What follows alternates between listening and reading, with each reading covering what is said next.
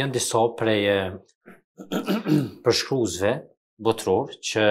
kur i kanë vizitu vendet shqiptare e kanë dhënë një konkluzion. Është Frederick Knight dhe disa të tjerë, e thotë shqiptarët dy gjona nuk bën me i prek, nuk bën me i prek në fe dhe nuk bën me i prek në familje. Ky është një konkluzion i përgjithshëm që është thanë si rezultat i vizitave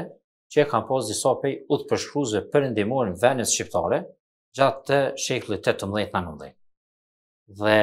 unë po besoj që arsyeja pse ka ndodhur gjithë kjo zhurëm është ky përshkrim i shqiptarëve që është bërë para disa shekujve,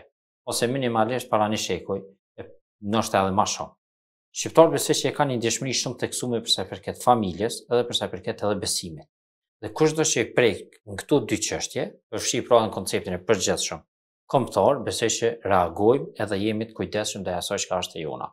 flasim në përgjithësi, natyrisht mm. gjithmonë tu pas parasysh që kemi dhe mendime ndryshme. Deklarata e kryeministrit Kurti, besoj që ka qenë deklaratë edhe metodologjikisht në hapa, po të njëjtën kohë edhe në ide, edhe në sistemin vleror, shumë e gabume. Ka qenë një praktikë e mahershme, edhe vazhdon me qenë kjo praktikë, që politikanët tonë i dhon disa premtime, nëpër forume të ndryshme ndërkombëtare,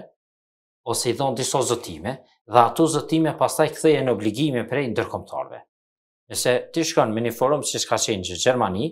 ku ndikimi i partive të majta është shumë i fuqishëm, për shkak se kemi një parti të majtë në pushtet në Gjermani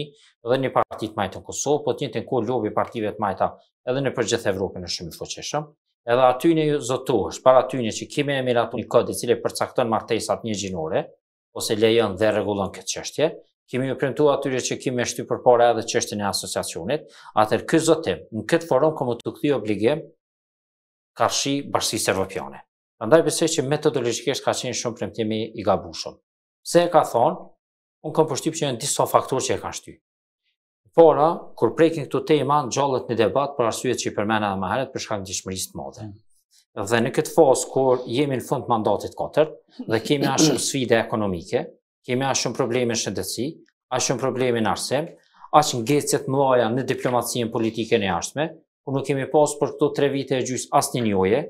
në asnjë organizatë s'kemi pas anëtarësim në organizata ndërkombëtare, nuk kemi pas ndonjë marrëveshje strategjike që kish pas impakt ekonomik në venin tonë, qytetarët shpresën pothuj se kryesore e kanë qysh me dalë prej këtuhit, një pjesë shumë e madhe, bizneset janë në halle dhe në dertet e veta për shkak që konsiderojnë që jemi para një krize goxha serioze ekonomike, familjarët e kanë problem me shku shportën mujore me e mbulu, atëherë dojshin me nxjerrë tema sikur kjo, për me mujtë me shpërqendru debatin në diçka, që realisht nuk ka qenë dashtë të del as prioritet e as temë këtë kohë. E dyta mendoj që kanë qenë dy raporte n'këtë kohë shumë të rëndësishme, edhe me impakt te na, siç është raporti e State Departmentit Amerikan, që ka konsideru që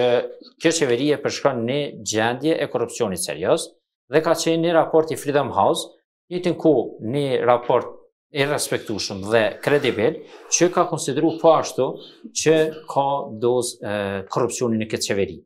Dhe për t'i mbulu tash gjitha këtu, dalin këtu deklarata të cilat e shpërqendrojnë vëmendjen në diçka që as nuk është me urgjencë, e jo, përveç kësaj,